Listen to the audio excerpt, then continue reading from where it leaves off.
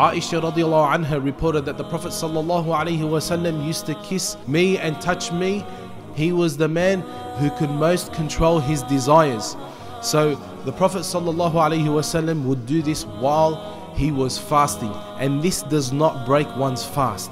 Now the scholars said that if a person cannot control his desires, then it is disliked for the person to do such acts. But if the person is old or a person can for sure control his desires, then it is permissible for that person to do so as your Prophet wasallam did. Everything is lawful for you to do while you are not fasting.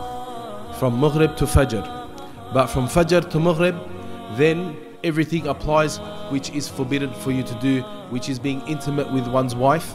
If one does so, then he has broken his fast. Also, he has to pay an expiation because he committed a sin. A man came to the Prophet ﷺ and he said that I was intimate with my wife while I was fasting. The Prophet ﷺ said, Then you have to free a slave. He said to him, I can't afford to free a slave. He said, Then fast two consecutive months in a row without breaking the fast. He said, I cannot do this. He said, Then feed 60 poor people. He said, I cannot do this. So he said, Sit down.